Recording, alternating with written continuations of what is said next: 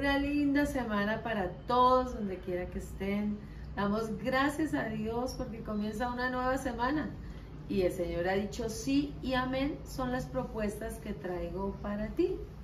Imagínense que vivimos en los Estados Unidos y cuando nos devolvimos para Colombia me quedé sin visa y mi esposo igualmente.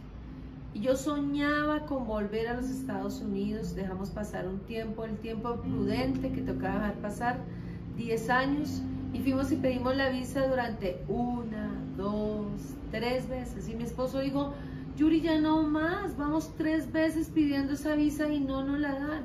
Y yo dije, por favor, por favor, la cuarta te lo pido, vamos la cuarta. Y él dijo, bueno, está bien, vamos la cuarta. Pero le dije, pero esta vez yo voy a hablar y nos alistamos y todos salimos y cuando íbamos para la embajada dijimos, Señor, danos una prueba de que sí nos van a dar la visa. Cuando levantamos la cabeza, el arco iris estaba sobre el cielo y nos miramos y dijimos, es el pacto de Dios, sí nos la van a dar. Así que yo voy a hablar esta vez. Y él dijo, listo, habla todo lo que quieras. Génesis capítulo 9, versículo 13 dice, he colocado mi arco iris en las nubes, el cual servirá como señal de mi pacto con la tierra. Una promesa que Él hizo y nunca la va a incumplir. Por eso cuando vemos el arco iris en el cielo y decimos está lloviznando, está haciendo sol, va a salir el arco iris. Es la promesa y el pacto de que Dios está con nosotros.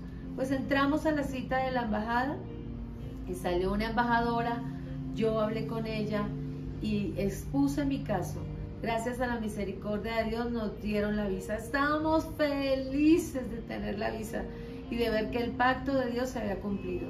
El Señor ha hecho pactos para cada uno de nosotros, así como prometió no volver a terminar la tierra con agua, con diluvio, como lo hizo, Él así lo ha hecho con nosotros. Si Él ha pactado algo contigo, lo cumplirá. Créele al Señor porque Él es poderoso y Él está contigo y con toda tu familia.